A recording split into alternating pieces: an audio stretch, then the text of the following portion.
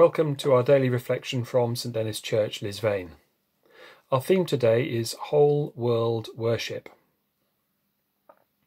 Formed on the 7th of April 1948, just over a month before the modern state of Israel, headed by Dr. Tedros Ghebreyesus, the World Health Organization states its main objective as ensuring the attainment by all peoples of the highest possible level of health.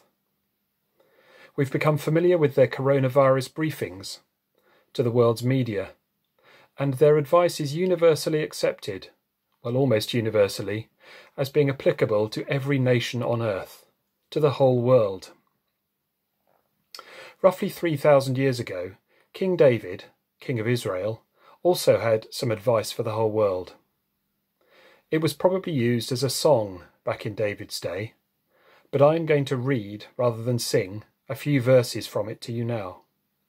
Psalm 96 O sing to the Lord a new song. Sing to the Lord, all the earth.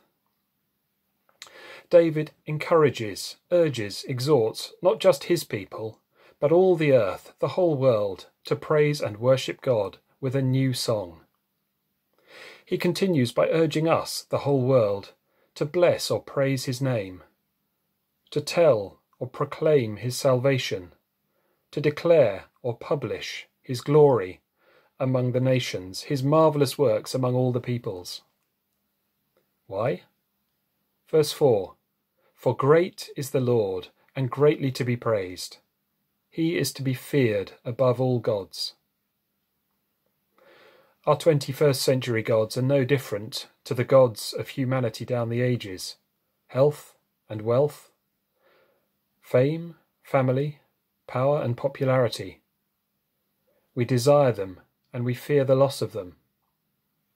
But David's advice to the whole world, his world health advice, also for all ages and all peoples, is to worship the Lord in the splendour of holiness. Tremble before him, all the earth. Ultimately, this is the best health advice the world can ever hear. If we heed it, give up our idols, and turn back to our holy God, we will be counted among those from every tribe and language and people and nation, in the revelation to John, who have been purchased for God by the blood of Jesus. David ends the psalm with a poetic description of how the rest of creation will be transformed when all nations gladly accept the good news of salvation through Jesus Christ, acknowledge his kingship and his rule.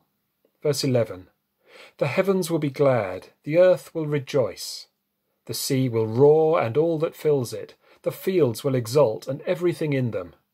Even the trees of the forest will sing for joy before the Lord.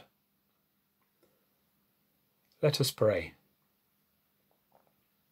Holy and most splendid God, we worship you, we bow down before you, and we proclaim your glory. We leave at your feet our burdens of care, anxiety, sorrow, and uncertainty. Turn our tears to joy, our fears to hope, and our trembling to trust. Help us to leave behind our small gods and enter your gates with thanksgiving and your courts with praise. We pray for and eagerly await the day when all the earth, the whole world, will sing a new song of praise to the glory of our Lord and Saviour Jesus Christ, in whose name we pray. Amen.